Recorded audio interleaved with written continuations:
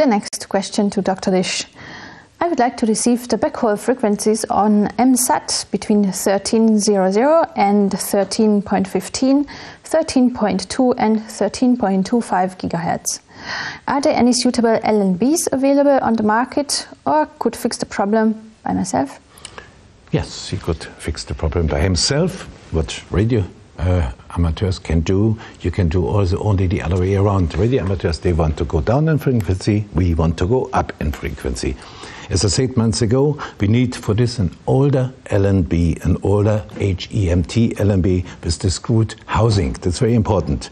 So what you need is a screwdriver, uh, some glue, and a lot of luck. This is all. Have a look at the short video. Radio amateurs use the 10 GHz band for ATV, which stands for amateur television. Of course, you can get the right LNBs for that particular frequency from your local amateur TV specialist. But they're quite expensive, and whoever calls himself a true ham radio amateur will try and modify an existing LNB by himself. In order to lower the local oscillator frequency to 9 GHz for amateur needs, we only need, as mentioned at the beginning, not more than an old suitable LNB, a flat trapeze capacitor, some crazy glue, and, for checking the frequency, an old analog satellite receiver. In terms of LNBs, you should go with the blue caps or even older. You would have to nearly destroy today's modern and cheap LNBs to get to their guts. Lowering the LOF is rather simple.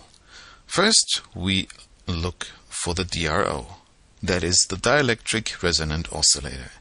It is also called the pill due to its tablet-shaped appearance and therefore very easy to find. The DRO is simply pushed up by a millimeter. This is done by placing a drop of glue underneath it. Now the oscillator frequency is lowered by about 350 MHz.